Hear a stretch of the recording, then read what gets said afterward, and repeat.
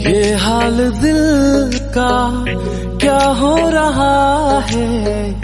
तू सामने हो मेरे, कैसा समा है? कुछ बोल पाए, ना कुछ सुना है। तेरी ही आँखों में दिल खो गया है। तू ही नहीं जाने